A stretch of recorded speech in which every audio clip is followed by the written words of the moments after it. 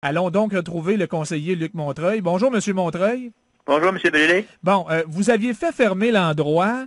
Euh, je pense que c'était en début d'année, là, en janvier dernier. On a le droit légalement d'opérer un club euh, échangiste au Canada maintenant.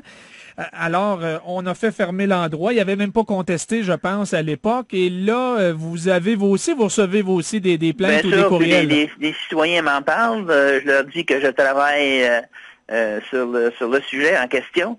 Euh, les services à la ville, il y a quatre services qui se penchent sur le, dossier comme tel.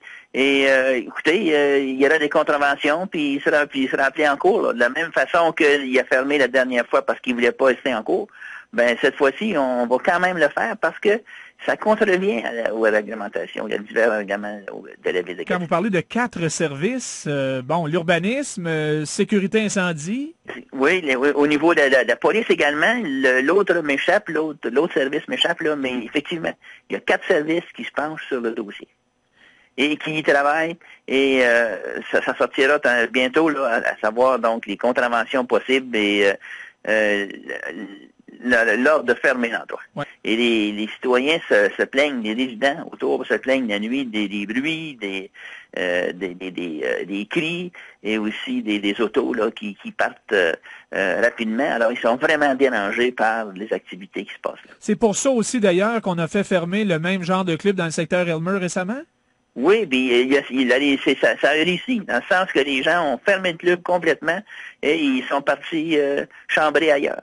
Parce que ce que dit M. Meunier, c'est écoutez, il y en a dans les grandes villes un peu partout. Euh, euh, à Gatineau, on semble être fermé à ça, puis lui a l'impression que c'est pour des raisons de moralité.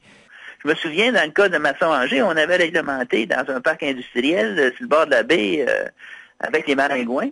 On a dit oui, là c'est permis, mais il n'y a personne qui, s'est montré intéressé à, ouvrir un club comme ça à cet endroit-là. Alors c'est une façon, en fin de compte, si tu veux pas que les gens fument, tu ne feras pas de cendrier. Ouais, donc vous admettez que euh, vous admettez vous admettez qu'idéalement, même si c'est permis par euh, euh, les lois canadiennes, ça a été reconnu par la Cour suprême le droit d'opérer un club échangiste.